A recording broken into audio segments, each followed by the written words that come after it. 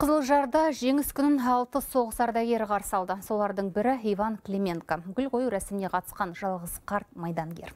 Мәңгілік алау маңына жиналған жұртшылық 95 жастағы аңыз адаммен бірге шейіт болған боздақтарды еске алып рухтарына тағзым етті.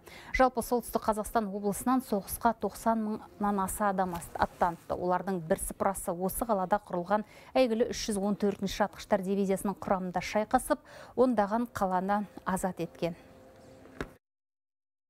День Победы мы встретили Жеңіс күнін мен Челябі қаласында қарсы алдым. Біз қиыр шығысқа бара жатқан едік.